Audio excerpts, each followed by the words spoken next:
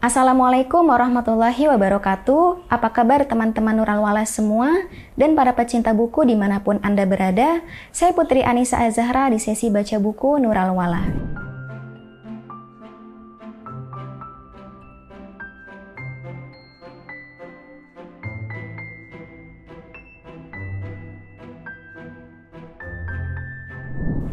Pertemuan kali ini kita akan melanjutkan membaca buku sebuah novel filsafat yang berjudul Anak Rusa Mencari Tuhan bab ke-8 dengan tema bintang-bintang.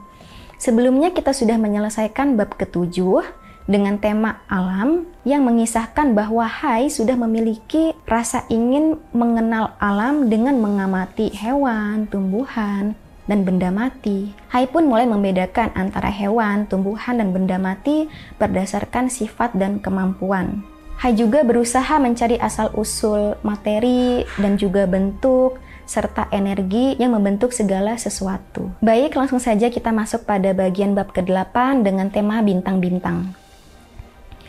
Memandangi bintang-bintang pada malam hari menjadi kegiatan paling menakjubkan bagiku. Aku melakukannya setiap malam jika cuaca cerah sebelum berangkat tidur.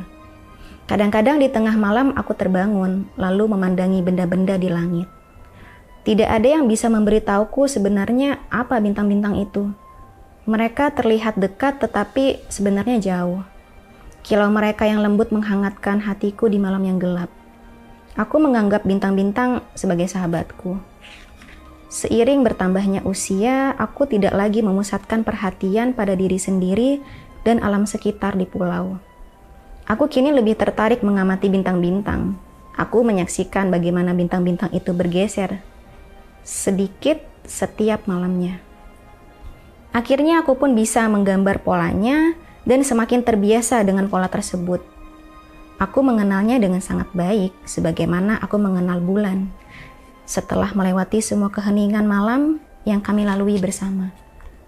Berulang-ulang aku menatap kejauhan dan mencoba memahami apa yang sebenarnya kulihat di sana.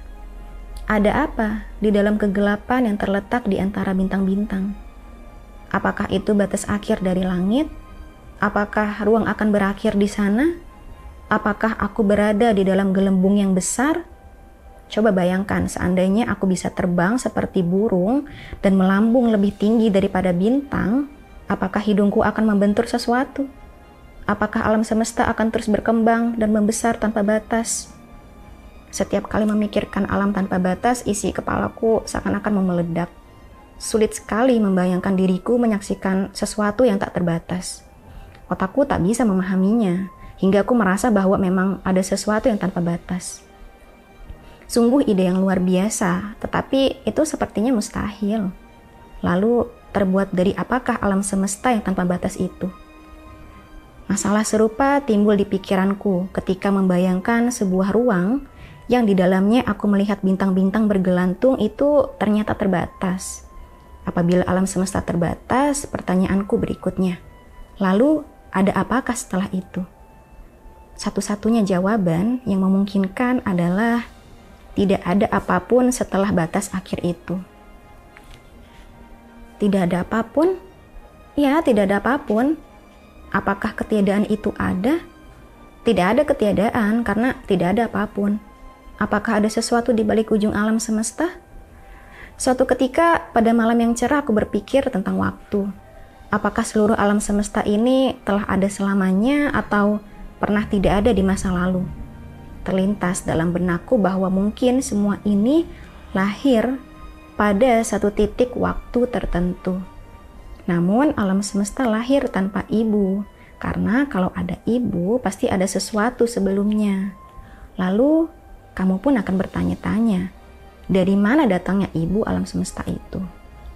Pasti di suatu tempat terjadi semacam kelahiran, entah dari mana, sebuah asal-usul penciptaan materi dan ruang, kemudian menjadi bentuk-bentuk yang sekarang ada.